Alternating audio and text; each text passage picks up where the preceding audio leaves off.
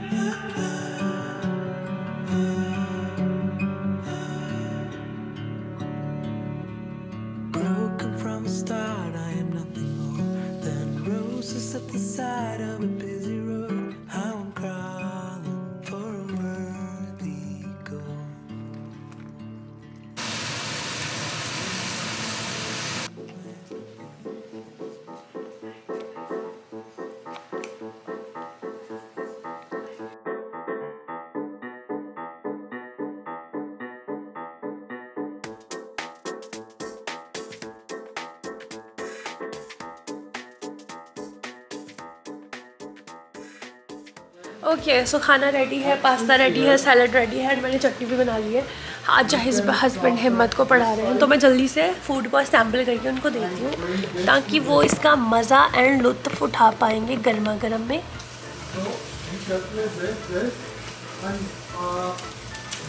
वो प्लेट में थोड़े से हैं।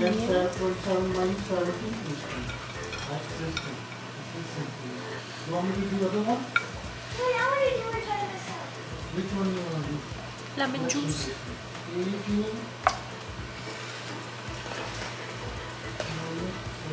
Salad. Paneer. What is getting new time? 18 minus 3. It's plus here, right? When 10 comes here, it's going to get minus, right? Here. I don't know why you guys can't see me. मैं ना थोड़ा fix करती हूँ light. This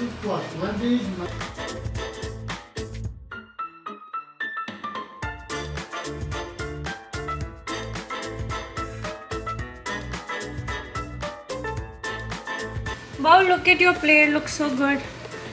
Oh, sorry.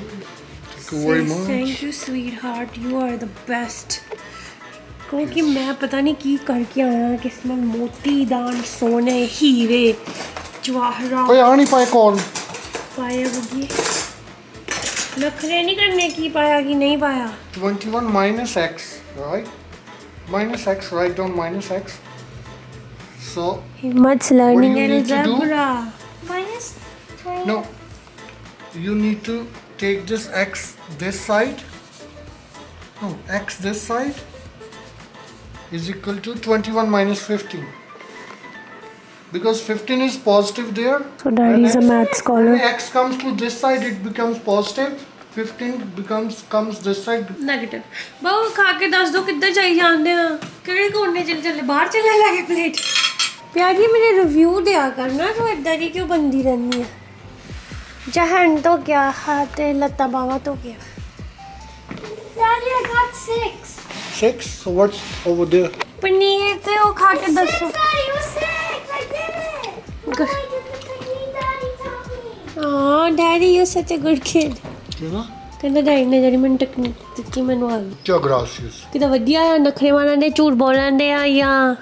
वह वही लुटन। दे सो मेरे vegetarian पति को मैं somehow some days paneer tikka ये पास्ता का सैलड ताजी हरी चटनी सारी फ्रेश इंग्रेडिएंट पीछे गार्डन से निकाल के एंड देन चाट मसाला नींबू एंड एवरीथिंग प्यार ये मैं चाहनी कि जो तो मैं सर्व करा ना हर चीज़ होवे लाइक परफेक्शन होवे कि चटनी भी घर बनाइए ऐसा अद्धी अधूरी चीज़ नहीं मैं तो सर्व कर पाती ਸੋ ਇਸੇ ਲਈ ਮੈਂ ਸੋਚਦੀ ਹਾਂ ਕਿ ਤੂੰ ਬਹੁਤ ਲੱਕੀ ਆ ਥੈਟ ਯੂ ਗਾਟ ਮੀ ਠੀਕ ਚੱਲ ਰਹੀ ਹੈ ਜ਼ਿੰਦਗੀ 'ਚ ਤੈਨੂੰ ਫੁੱਲ ਬੜਾ ਫੁੱਲ ਨੰਬਰ ਮਿਲਨੇ ਆ ਠੀਕ ਨਹੀਂ ਬਹੁਤ ਵਧੀਆ ਗੋ ਹਾਈ ਕਲਾਸ ਕੋ ਕਿ ਯੂ ਆਰ ਦ ਬੈਸਟ ਐਡਾ ਤਾਂ ਹੁਣ ਤੇਰੇ ਜਦੋਂ ਫਾਈਨਲ ਕਿ ਮਰਨ ਤੇ ਦੋਗੇ ਹੁਣ ਰਿਵਿਊ ਜਿੰਦੇ ਜੀ ਨਹੀਂ ਦੋਗੇ ਫਾਈਨਲ ਰਿਵਿਊ ਕੀ ਜਦੋਂ ਐਂਡ ਹੋ ਗਿਆ ਜ਼ਿੰਦਗੀ ਦਾ ਉਦੋਂ ਦੋਗੇ ਹਜੇ ਜਿਹੜੀ ਕਮੀ ਪੇਸ਼ੀ ਆ ਮੈਨੂੰ ਲੱਗਦਾ ਜੋ ਤੁਹਾਨੂੰ ਸਵਾਦਿਸ਼ਟ ਖਾਣੇ ਮਿਲਦੇ ਆ ਨਾ ਤੁਸੀਂ ਇਹ ਮਾਈਨਸ ਕਰਵਾਉਣੇ ਆ ਆਪਣੀ ਜ਼ਿੰਦਗੀ ਚੋਂ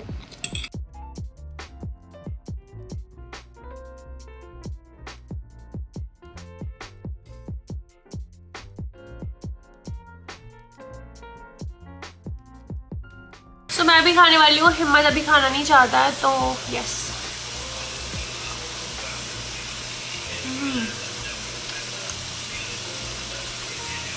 वेरी गुड ज़्यादातर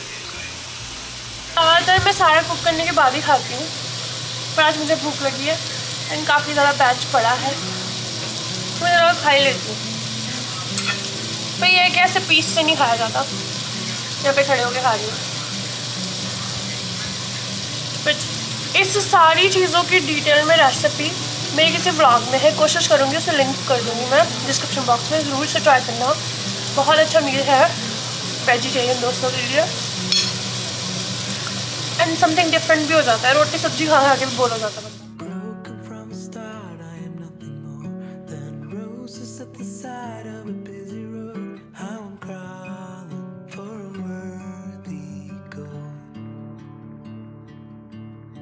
At least I'm not alone in my apathy. There's more like me who don't know how to be, how to reach out to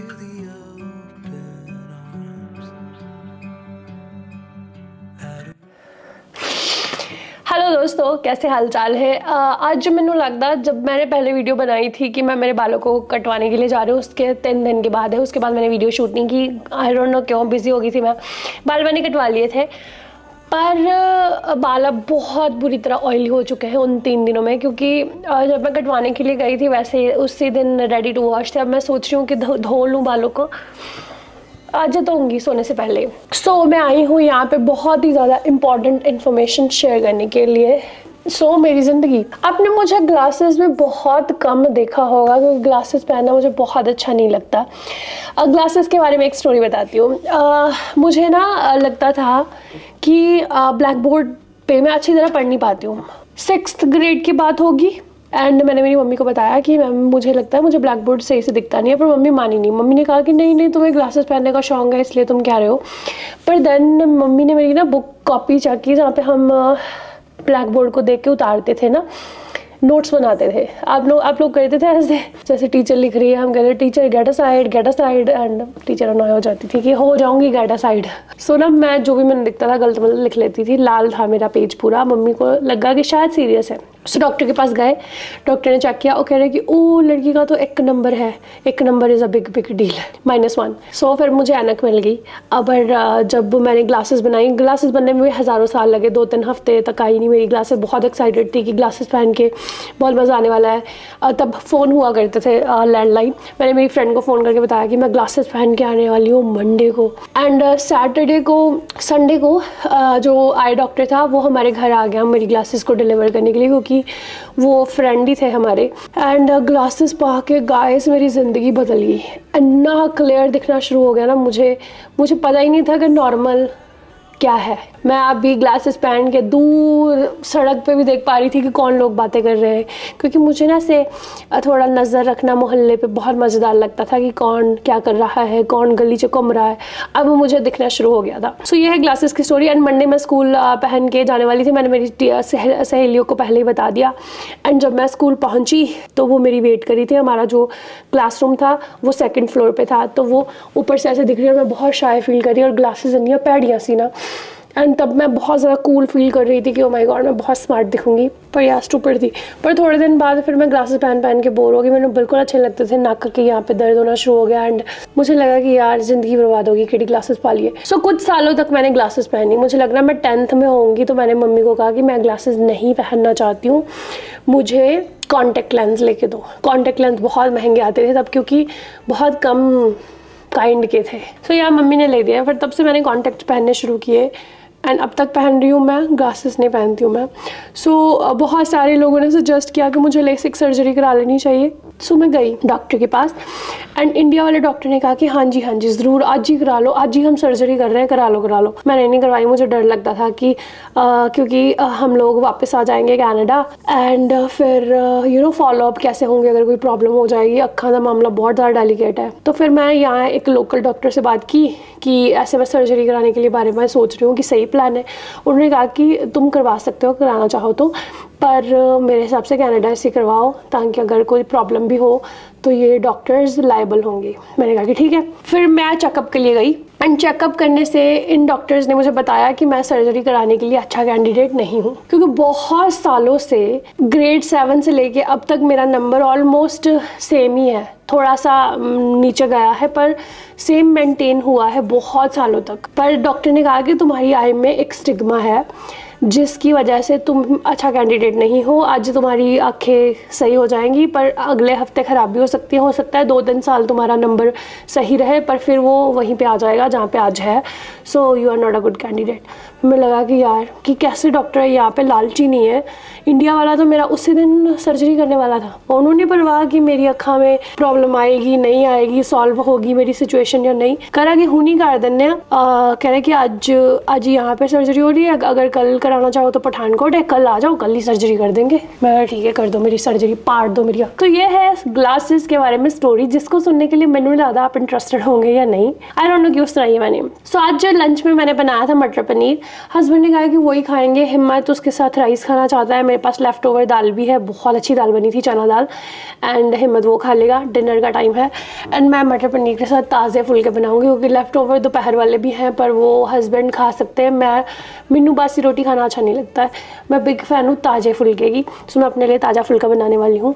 and उसके बाद क्या करेंगे? उसके बाद मेरा प्लान है कि आज हम हमारी क्लॉजेट को क्लीन करें एंड बहुत ही प्यारी सी बातचीत करेंगे डी क्लटरिंग को लेकर स्पेशली क्लॉजेट को. एंड मेरे पास बहुत प्यारी सी टिप्स भी हैं आपके साथ शेयर करने के लिए uh, जो कि मिस्टेक्स हैं. मुझे लगता है कि बहुत सारे लोग वो करते होंगे और इसके बाद आप नहीं करेंगे. सो so, सबसे पहले रोटी खा लेते हैं पेट पूजा कर लेते हैं।